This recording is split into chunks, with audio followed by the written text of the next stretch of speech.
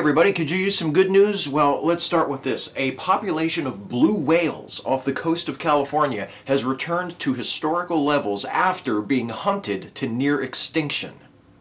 A new study conducted by researchers at the University of Washington and published in the journal Marine Mammal Science surveyed a particular population of North Pacific blue whales, a subspecies that lives from California up to Alaska along the west coast of North America, and found that the population now numbers approximately 2,200, or around 97% of its estimated historical level.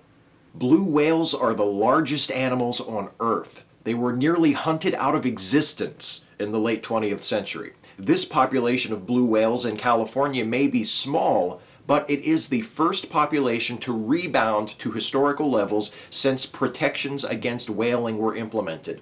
This UW study documents a great conservation success story and demonstrates that through proper protection and monitoring, vulnerable populations can be brought back from the brink of extinction.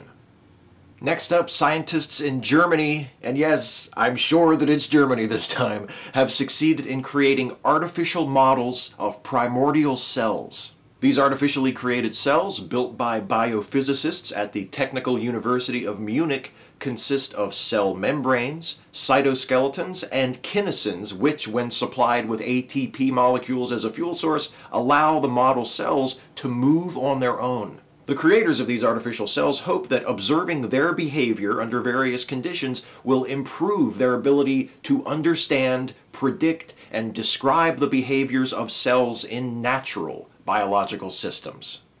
And finally, a NASA survey has confirmed a long proposed theory that our solar system sits within a great bubble of gas created by the explosions of ancient supernovae.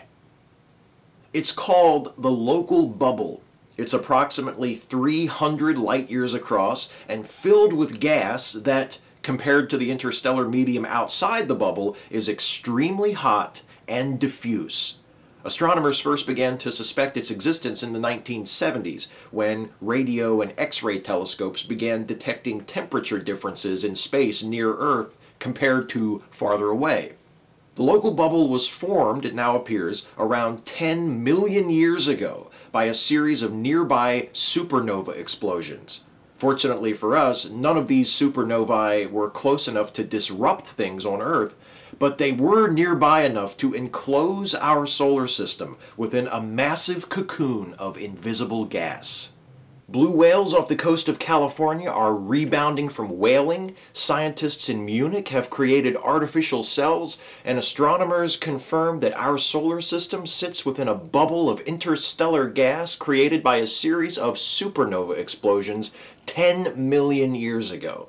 That's the good news.